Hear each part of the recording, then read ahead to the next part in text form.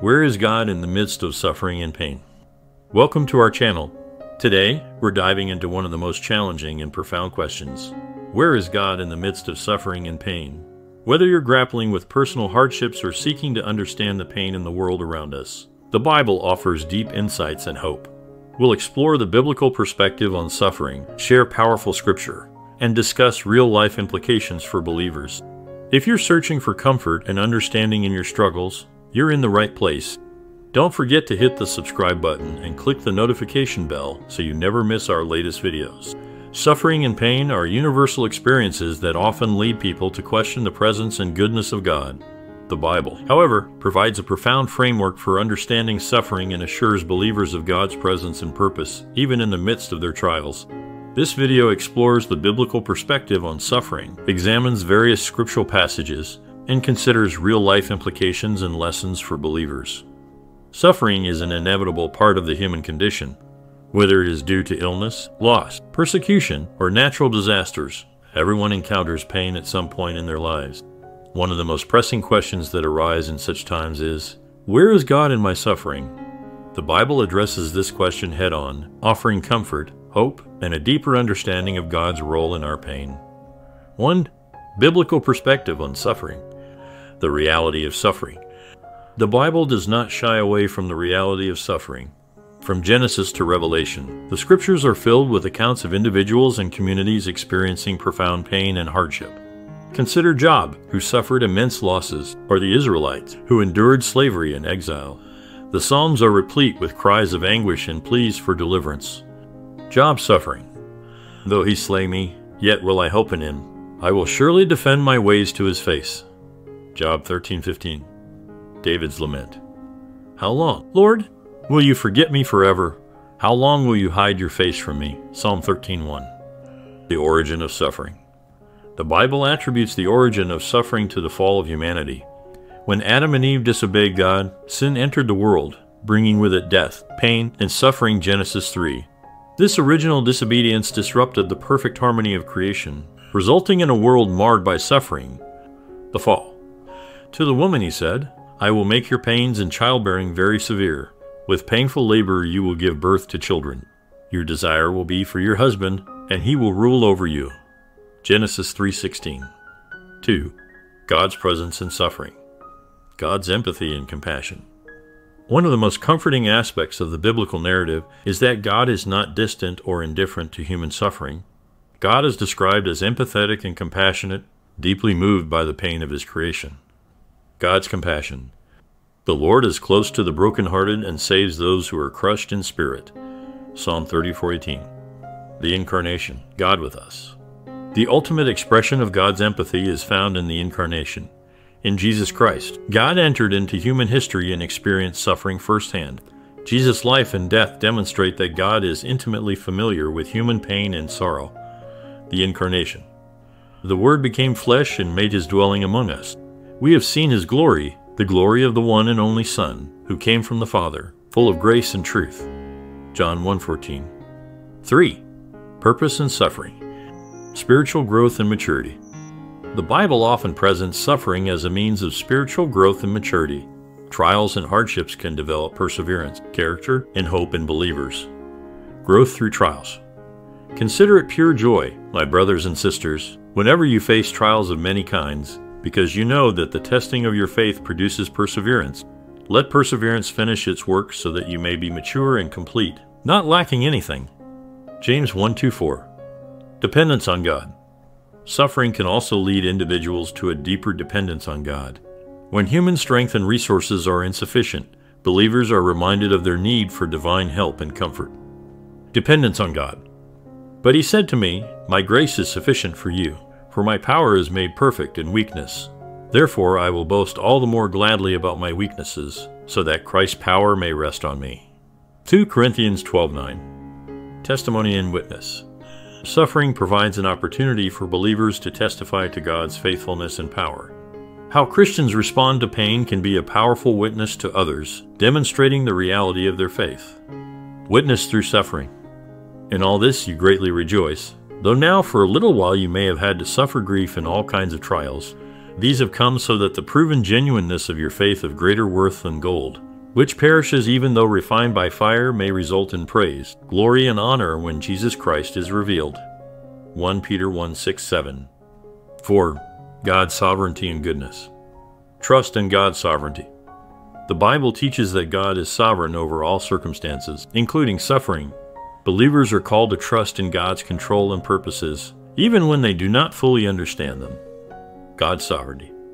And we know that in all things God works for the good of those who love him, who have been called according to his purpose. Romans 8:28. The promise of redemption. Ultimately, the Christian hope lies in the promise of redemption. God has a plan to restore and redeem all creation, and suffering will not have the final word. This eschatological hope provides comfort and assurance in the midst of present pain. Promise of redemption. He will wipe every tear from their eyes.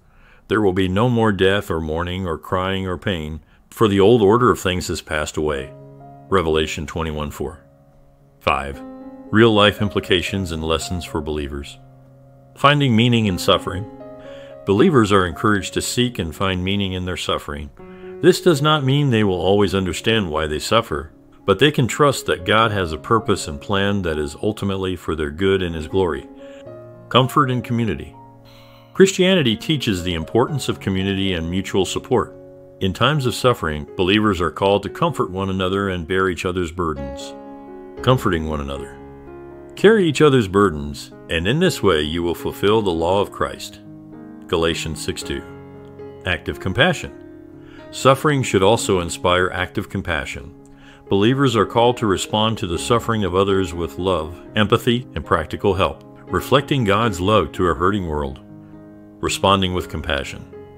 Religion that God our Father accepts as pure and faultless is this to look after orphans and widows in their distress and to keep oneself from being polluted by the world. James 127.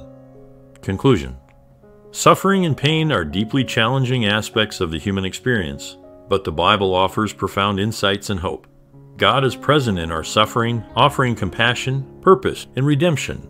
Believers are called to trust in God's sovereignty, find meaning in their trials, and respond with love and support to those who are hurting.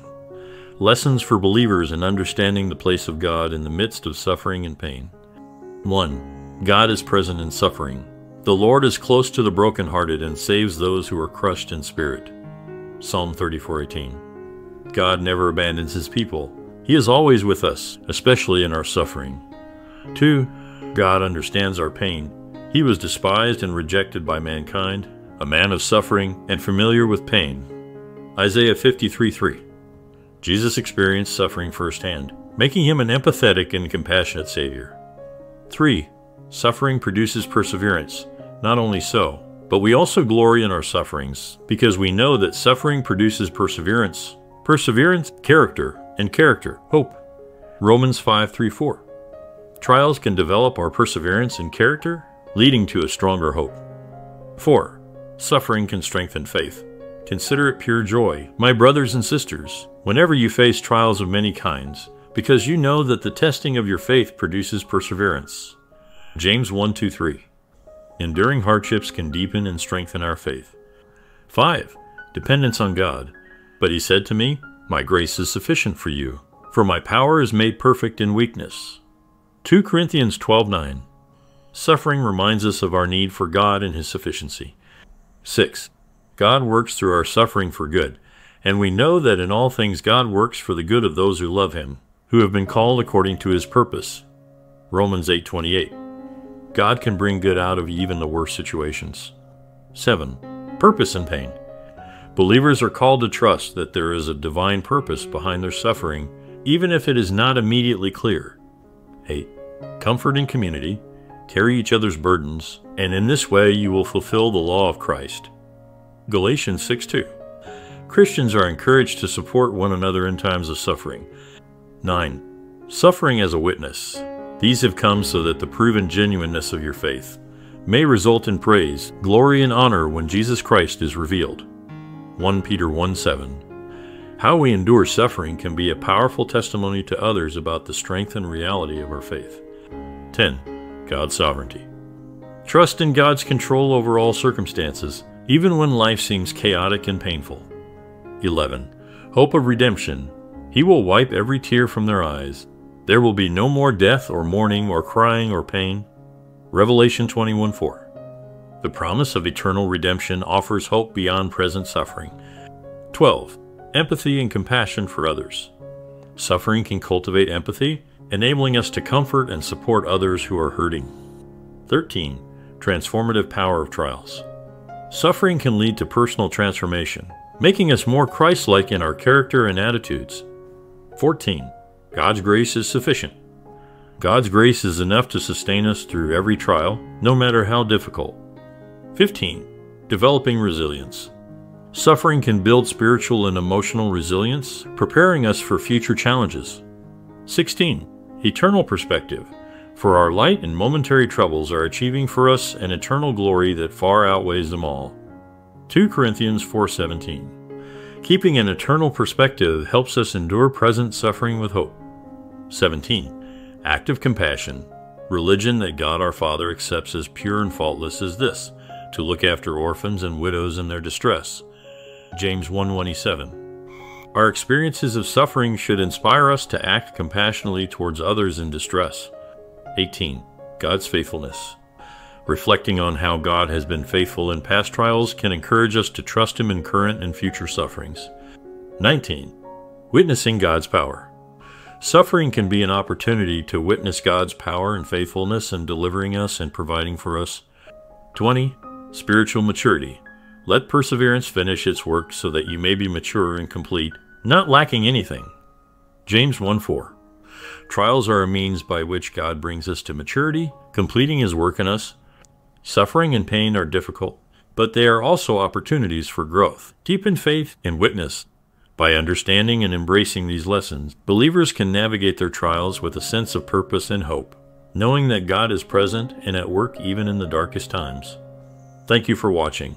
We hope this exploration of God's presence in the midst of suffering has brought you comfort and a deeper understanding. Remember, God is with us even in our darkest times, offering compassion, purpose, and redemption. If you found this video insightful, please give it a thumbs up and share it with others who might benefit. And if you haven't already, subscribe to our channel for more in-depth discussions and spiritual growth. Leave a comment below if you have any questions or thoughts we love hearing from you. Until next time, stay blessed and stay strong in your faith.